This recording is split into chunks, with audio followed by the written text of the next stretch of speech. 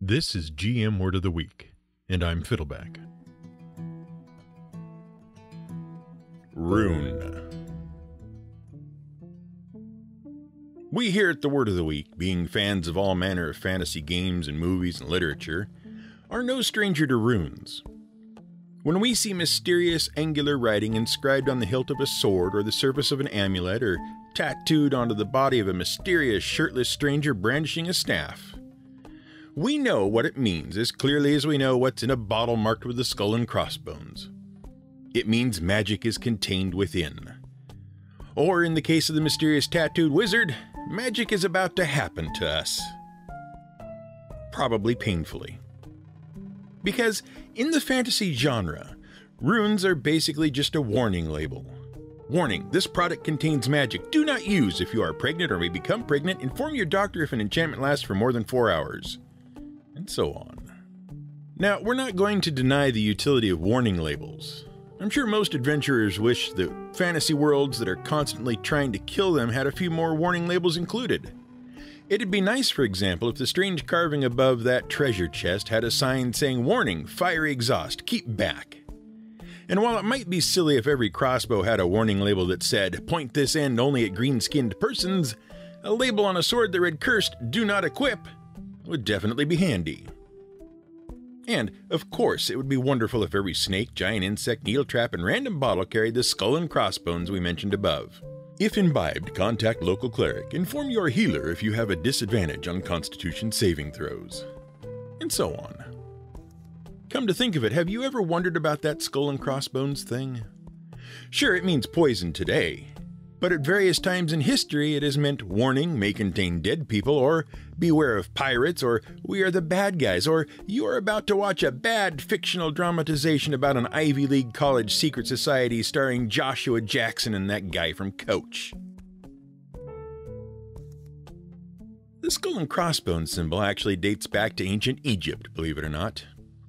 But it didn't begin with Egyptian alchemy, as you might expect. In fact, the skull and crossbones wasn't used to signify poison until the mid 1850s in the United States. And it was one of several competing symbols used throughout the world for poison.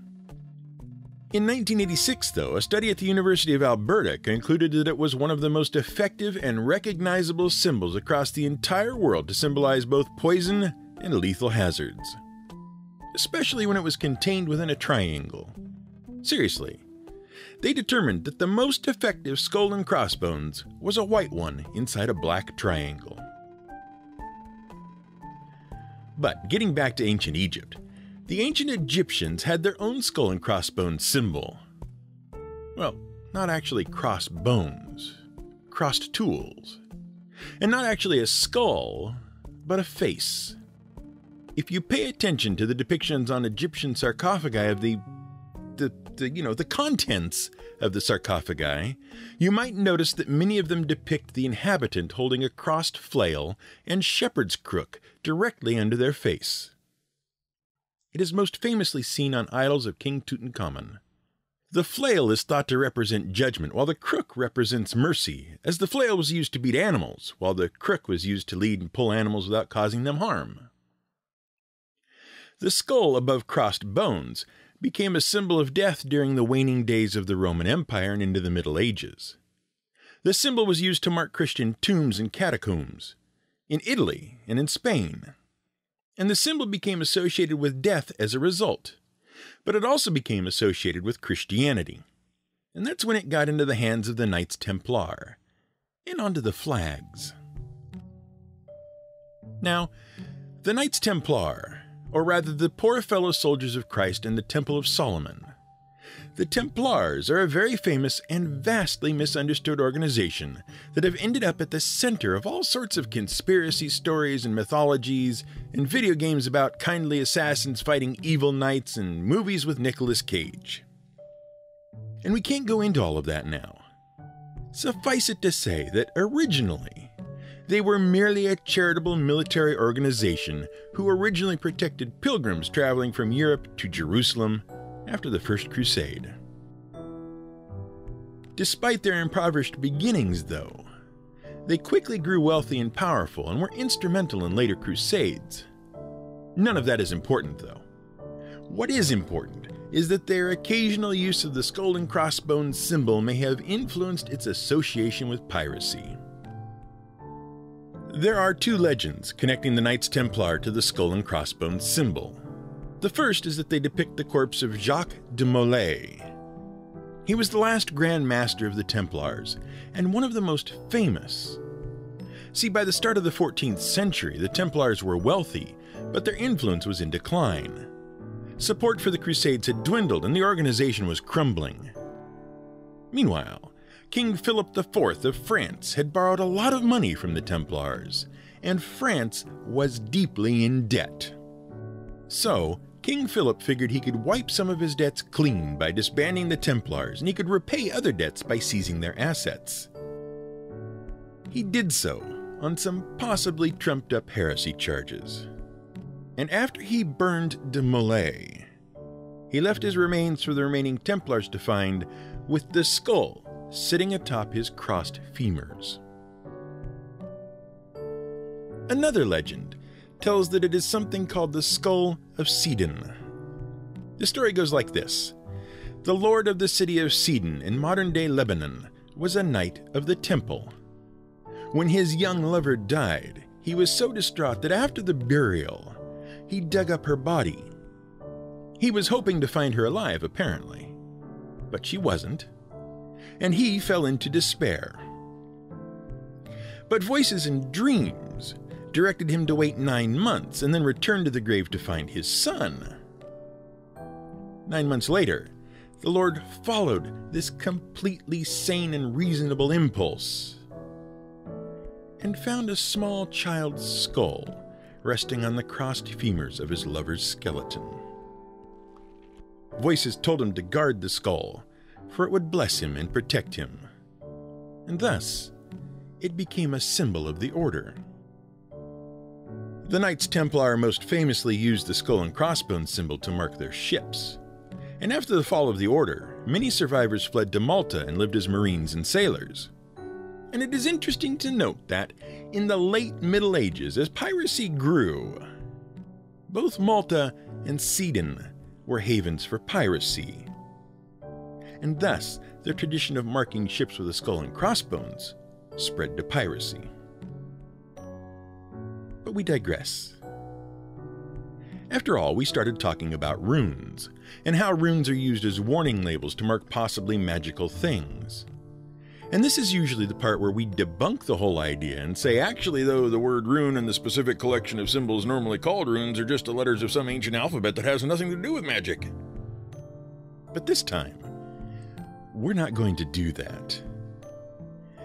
Because although what we think of as runes really were just the letters of an ancient alphabet, they were also totally magical. Supposedly, mythologically. At the very least, if you found a golden amulet, or a sword marked with runes, you really were dealing with something someone thought was magical.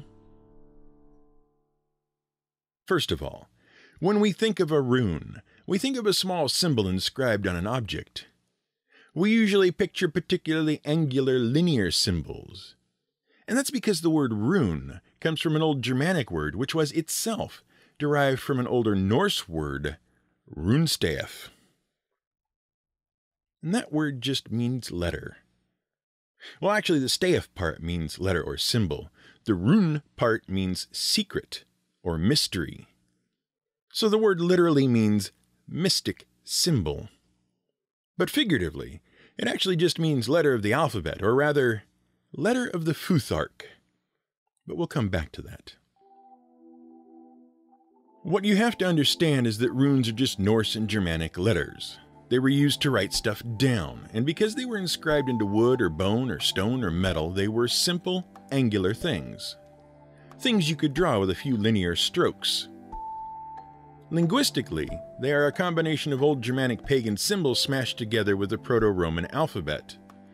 And they appeared between 50 CE and 150 CE. And that's it. They were just a writing system. Germanic warrior tribes picked them up in southern Europe, combined them with their own pagan symbols, and carried them into Northern Europe, where they influenced the Norse cultures. Simple as that. So, what's with the whole mystery symbol thing? Well, that ties into Norse mythology. See, the ancient Norse and Germanic peoples didn't think they'd invented their writing system at all. They believed that the runes represented mystical symbols used to record the ebb and flow of fate. And they were the purview of three entities known as the Norns. The Norns were three wise, powerful beings who lived at the bottom of the great tree Yggdrasil, which contains the whole cosmos.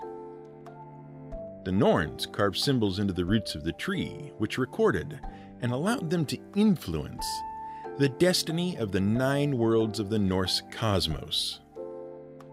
Odin, the king of the Norse gods, was jealous of the Norns for their wisdom and their influence. Now, supposedly, only those truly worthy could even see the runes. And Odin had to figure out how to prove his worth.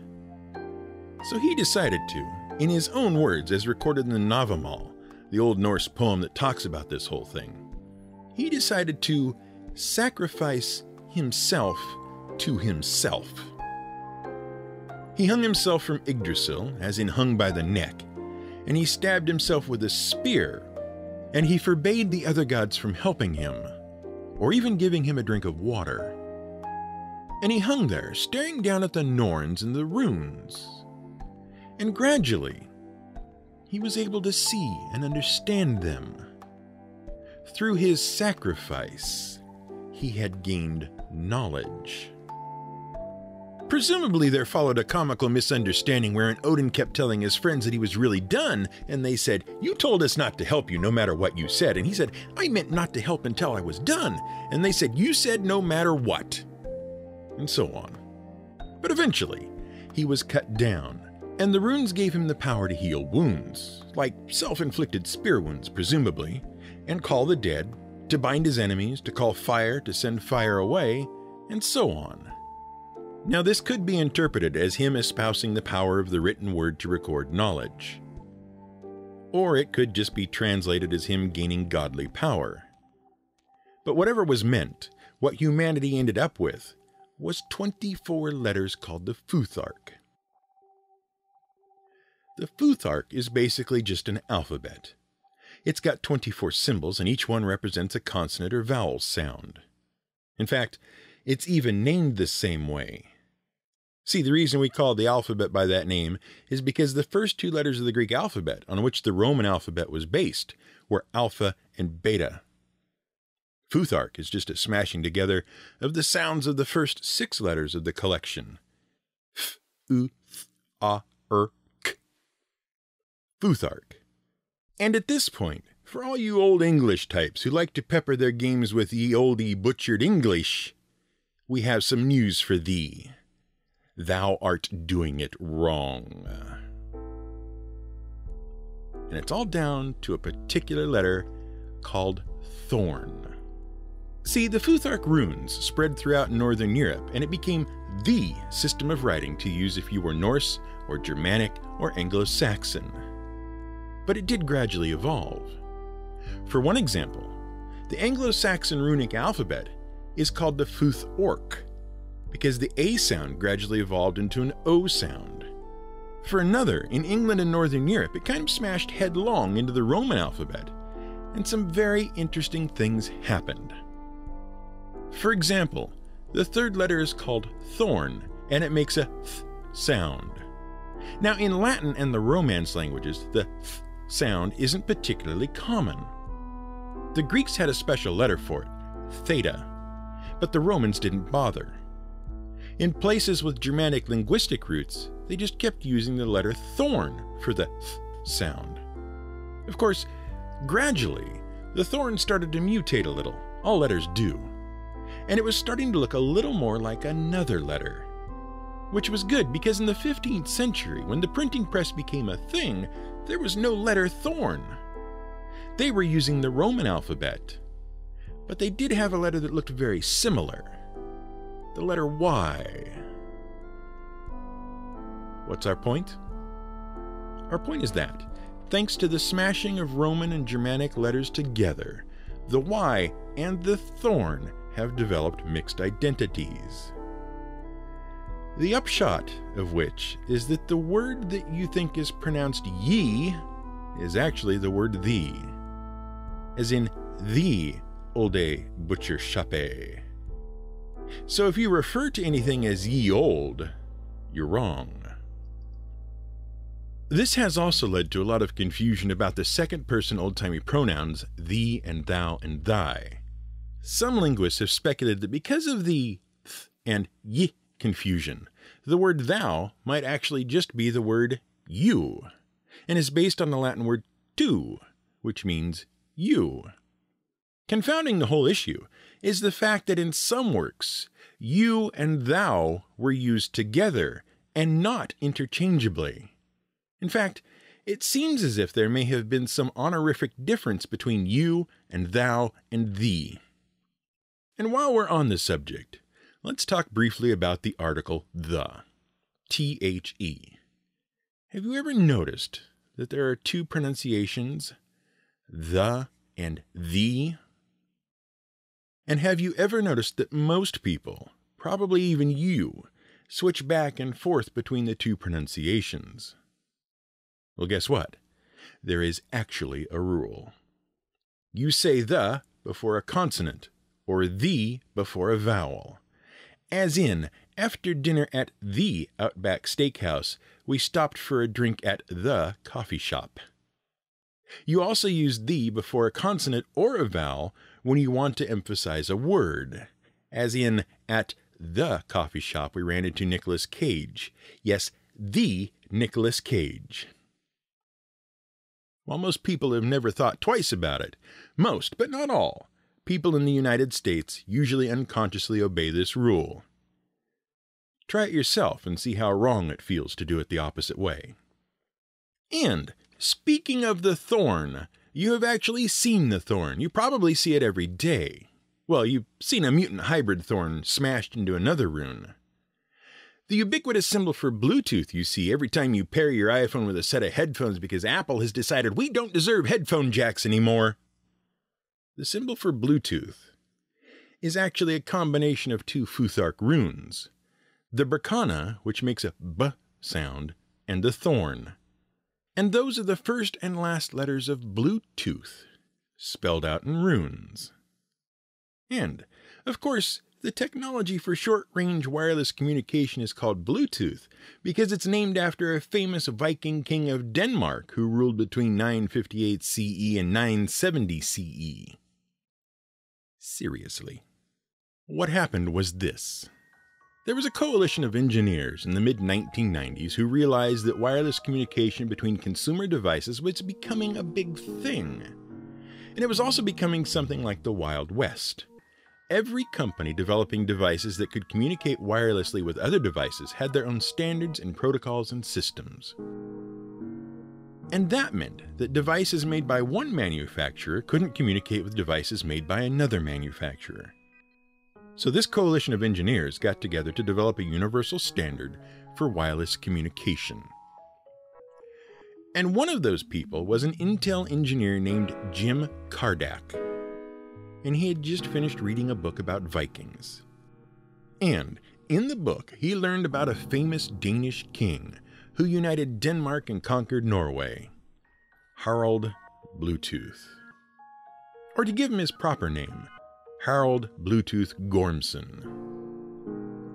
In the early 900s, Denmark was a bit of a mess. It was a mix of German settlements, Viking settlements, and Christian enclaves. Gorm the Old, then king, was a fiercely devoted follower of the Norse traditions, and he set about unifying Denmark under his rule by force. And one of his fiercest acts was to destroy a number of Christian churches and towns on the border between Denmark and the German lands. This brought him into direct conflict with a German king named Henry the Fowler. And Fowler defeated Gorm so thoroughly that Gorm was forced to rebuild all of the churches he'd destroyed and grant tolerance for Christianity throughout his land. Gorm did so.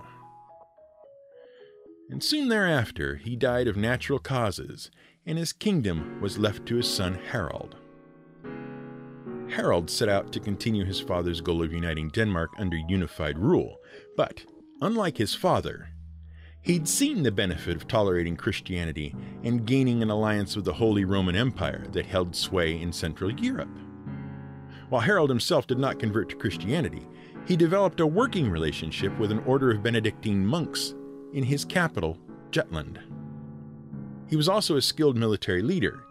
He strengthened the fortifications in Denmark and built a number of Trelleborg ring forts. Those are the iconic wooden Viking forts you can picture in your head. After securing his borders, he helped his nephews, the Greycloaks, reclaim their lands in Norway following the death of their father, King Eric Bloodaxe. Unfortunately, while the unification of Denmark stuck, Harald's reign did not, and what happened is not entirely clear due to sparse records and conflicting accounts. Somehow, conflict broke out between Harald Bluetooth and Otto the Great, the Holy Roman Emperor. Control over Denmark shifted back and forth during the ensuing war and eventually, history records that Harald Bluetooth died in battle. As for the name Bluetooth, that comes from the fact that Harald had a supposedly discolored and prominent front tooth. As to why Jim Kardach thought that would be a perfect name for a standard form of short range wireless radio communication, well, he explained it himself.